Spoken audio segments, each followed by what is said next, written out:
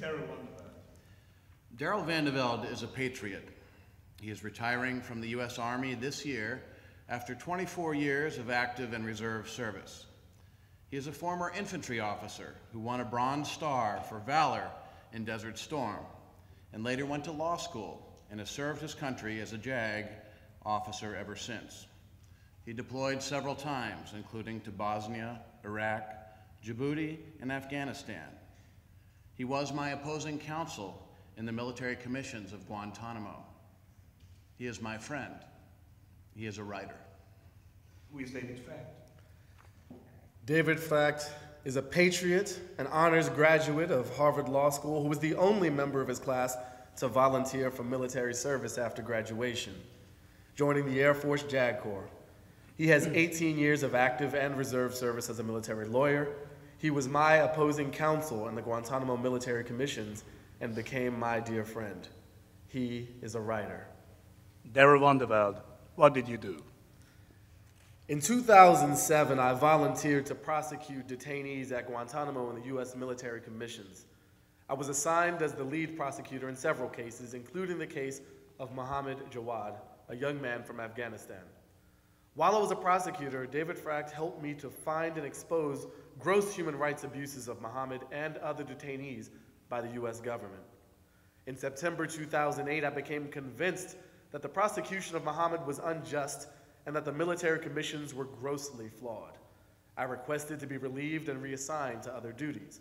After stepping down from the prosecution, I worked with David Frakt to expose detainee abuse, to secure Mohammed's release, and bring about much needed reforms to the U.S. military commissions.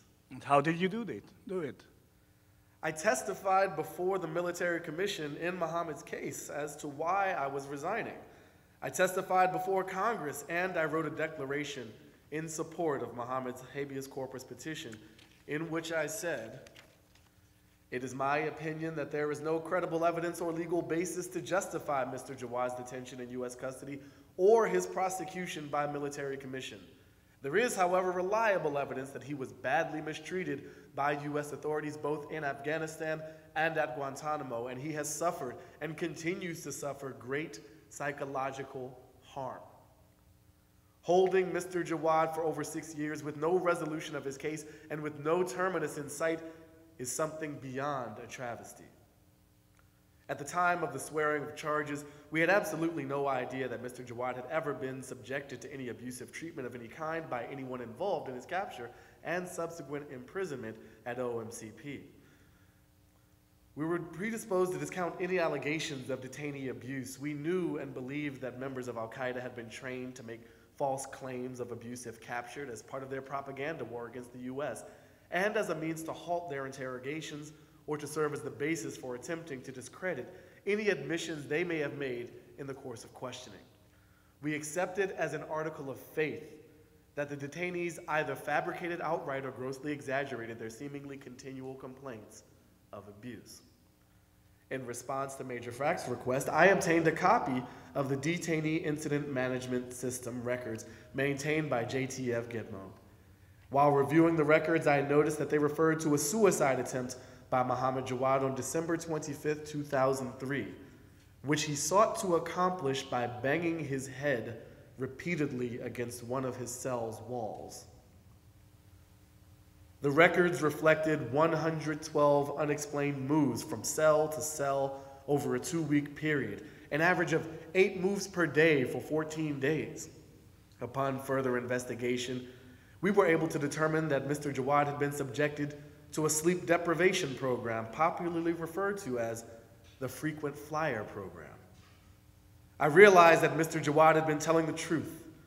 I lacked the words to express the heart sickness I experienced when I came to understand the pointless, purely gratuitous mistreatment of Mr. Jawad by my fellow soldiers.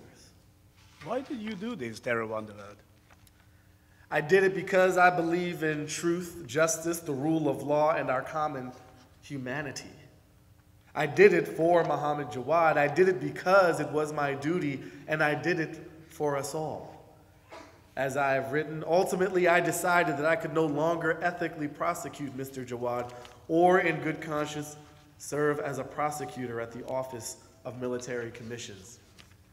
The chaotic state of the evidence, overly broad and unnecessary restrictions imposed upon the guise of national security, and the absence of any sympathetic, systematic, reliable method of preserving and cataloging evidence, all of which have plagued the Commission since their inception, make it impossible for anyone involved, the prosecutors, or caught up, the detainees, in the commissions to harbor even the remotest hope that justice is an achievable goal.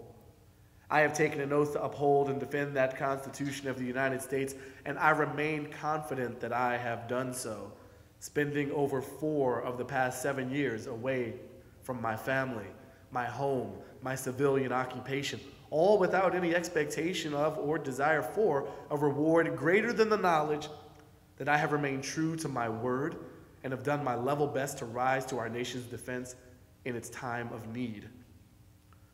No one who has fought for our country and its values has done so to enable what happened in Guantanamo.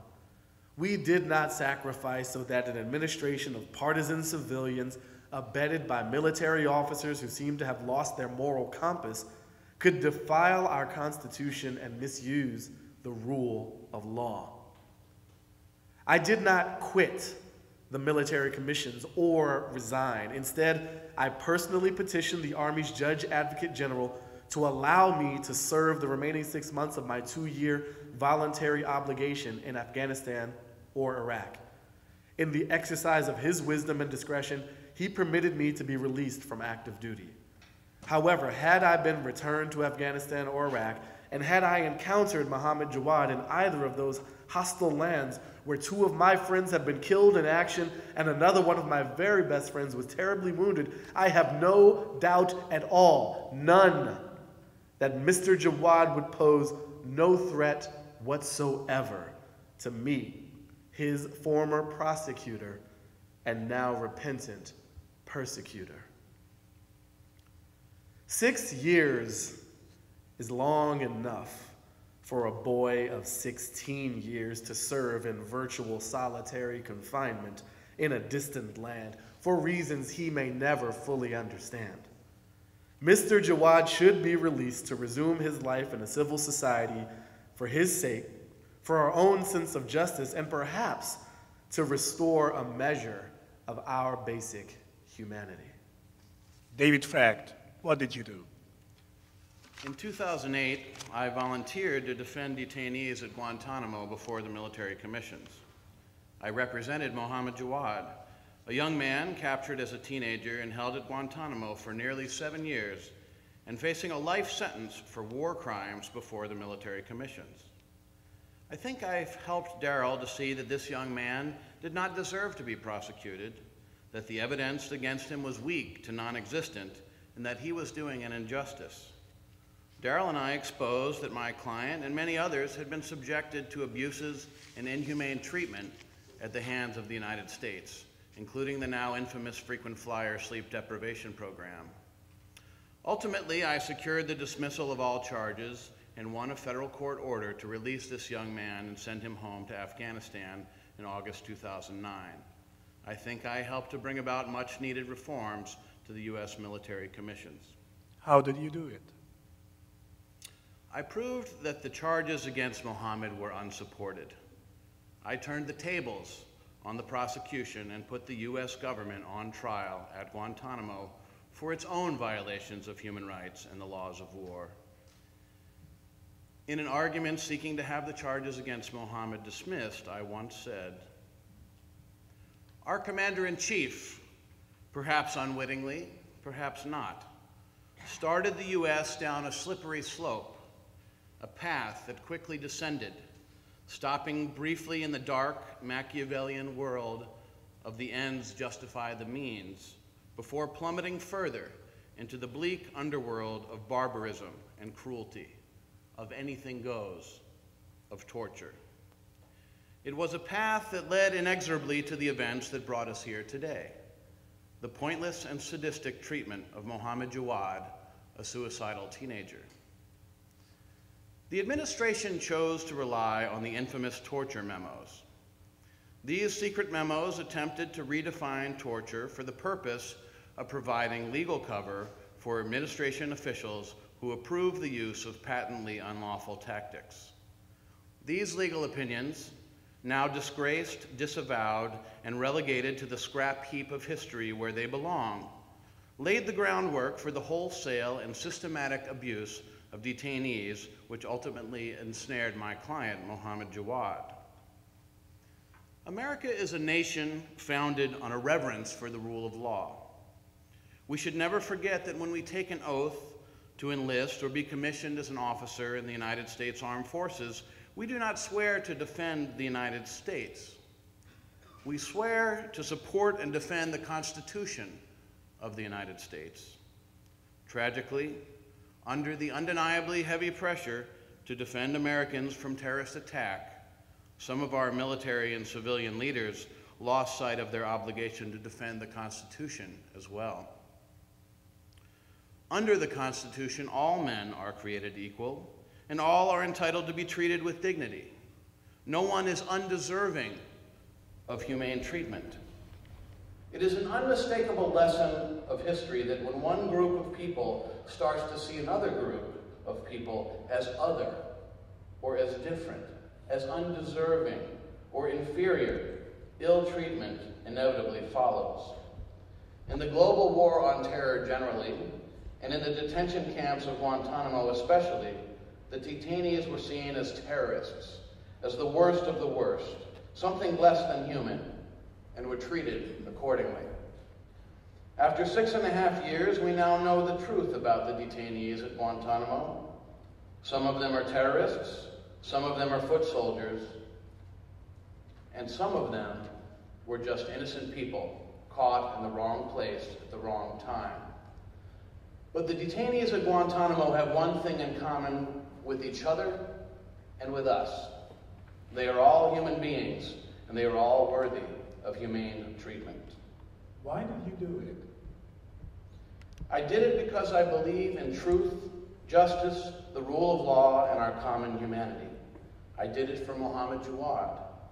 I did it because it was my duty, and I did it for us all. As I said in the Guantanamo courtroom five years ago, America lost a little of its greatness. We lost our position as the world's leading defender of human rights, as the champion of justice and fairness and the rule of law.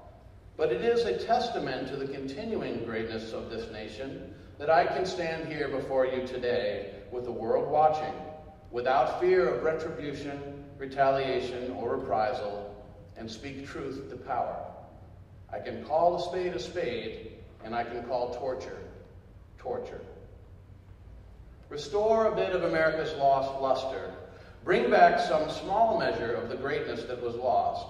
Set us back on a path that leads to an America which once again stands at the forefront of the community of nations in the arena of human rights. Send a message, a clear message, an unmistakable message that the U.S. really doesn't torture. And when we do, we own up to it and try to make it right. Thank you. Thank you.